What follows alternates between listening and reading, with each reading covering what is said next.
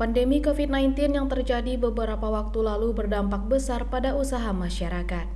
Salah satunya usaha budidaya jamur yang ada di Kelurahan Poebasuang, Kecamatan Payakumbuh Timur. Sebab hasil panen tidak bisa dijual ke sejumlah tempat di Payakumbuh maupun di Provinsi Riau. Hal tersebut mengakibatkan perekonomian masyarakat menjadi terganggu dan berkurangnya pendapatan keluarga. Kini perlahan dengan tidak berlakunya lagi pembatasan sosial berskala besar, usaha rumahan tersebut mulai bangkit. Masyarakat kembali bergairah untuk kembali memulai melakukan usaha jamur meski belum seperti dahulu. Namun kini jumlah pembeli terus mengalami peningkatan. Asnel salah seorang pembudidaya jamur mengungkapkan, harga jual jamur masih terbilang rendah. 1 kg jamur hanya dijual 13.000.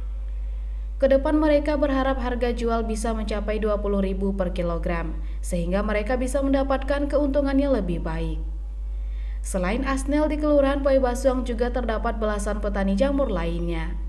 Hasil panen jamur selain dijual secara langsung, juga mereka olah menjadi berbagai jenis penganan, baik berupa rendang jamur, jamur crispy maupun produk lainnya sekarang udah membaik. Dulu memang waktu pandemi memang kami ada mengalami sedikit uh, bilang kegagalan enggak tapi ada sedikit masalahnya karena yang membeli kurang.